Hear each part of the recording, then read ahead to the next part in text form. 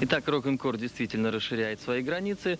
Лондон, Нью-Йорк и Париж у нас еще впереди, а сегодня мы в гостях в городе Волжском на местной музыкальной тусовке. Что это такое, сейчас расскажет нам главный организатор, а также композитор и аранжировщик Сергей Марков. Не знаю, что говорить. Вот тусовка.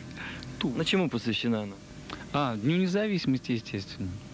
Только Дню независимости или это просто хорошая возможность встретиться, поиграть? Вообще-то здесь больше хорошая возможность встретиться, поиграть, пообщаться, там, ну и все такое прочее. Вот. Ну и День независимости. Скажите, а вы первый раз вообще работаете вот так вот с телевидением? Вообще-то нет, мы много работали уже с телевидением, вот, неоднократно. Снимали здесь, тоже на этой площадке. Вот. Кстати, я обратил внимание, что большинство песен звучат на английском языке. Почему это? Вот, может быть, кто-то из ребят ответит. Так, Влад, давай, рубись. Просто так. Просто так. Хочется так Стилистика петь. Стилистика такая, что надо петь на английском, русский не звучит. Но вы не находите, что, может быть, так сказать, э, ваши поклонники не всегда смогут вас понять, потому что они не знают английского языка? Это их проблема. То есть вас не волнует отношение к вам ваших поклонников? Ну так поклонники же слушают металлику, там антракс, они же английский в основном не понимают, они слушают в основном музыку, они же по музыке тащатся.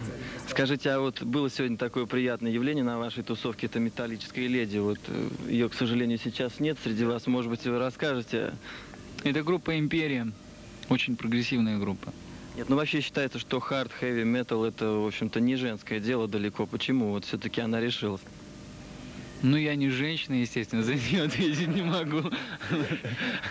Так что, ну, это у нее надо спросить. Значит, ей так... есть, которых это женский вокал есть. Это вот, например, Холли Моуса, там Сабина Классер, она так рубит вообще. Ну, очень много это женских вокалисток там. Ну просто для, так сказать, русского рока это несколько неожиданно. Ну почему вот Соловьева с этого, с- откуда она? Соколова. Вот. С Маркизы. Ну все. И, я, например, она сейчас на английском поет, кстати, ништяк. А что, наши хуже, что ли? Э, Ребята, вот вы помните, наверное, что Борис Гребенщиков еще, в общем-то, очень давно в своей песне сказал нам, что рок-н-ролл мертв.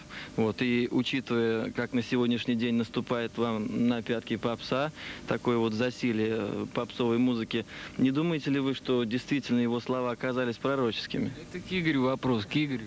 Но на этот счет еще Ози Осборн сказал лет 10 назад, что еще рок- рок-н-ролл не убьешь. В общем-то, еще это было до Гребенщикова. Поэтому я думаю, на- да, Гребенщиков это авторитет, так сказать, в узком кругу. А Ози Осборн признанный авторитет, поэтому стоит прислушаться, по-моему, к нему. Как вы считаете, вот у каждого времени в рок-н-ролле есть свои атрибуты. Какие атрибуты у рок-н-ролла сейчас?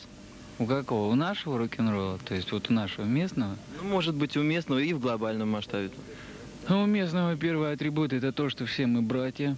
Вот, у нас нет никаких таких градаций там на личности. То есть мы просто все вместе контактируем, общаемся, и нам от этого очень здорово. Вот. А каких-то, то есть, каких-то там, э, как это сказать, Ну, рок-н-ролл объединяет прежде всего. Даже на таких насмешанных тусовках, допустим, если музыкант, музыканты не знают даже языка, там, допустим, английского, они запросто общаются, в принципе. То есть объединяет музыка, рок-н-ролл. Это религия, в общем-то. То есть для вас рок-н-ролл это прежде всего общение и религия, да? Да, это религия прежде всего. это свобода. Одним словом, рок-н-ролл жив. Конечно. О, кстати, вот у меня всегда, когда публикации там в прессе, там статьи все различные, которые вызывают, то есть отрицательные эмоции у тех, кто их читает, была такая фраза «Рок-н-ролл жил, рок-н-ролл жив, рок-н-ролл будет жить». Ну и такой традиционный, в общем-то, вопрос о творческих планах. Какие они у вас? У кого какие планы есть? Весьма туманные. Скорей бы конец света. Ну что ж, планы действительно весьма туманные, рок-н-ролл жив, и в этом мы успели сегодня убедиться. Но если вам не сложно, давайте все вместе попробуем сказать эту фразу «рок-н-ролл жив». Три, четыре. Рок-н-ролл жив! Спасибо.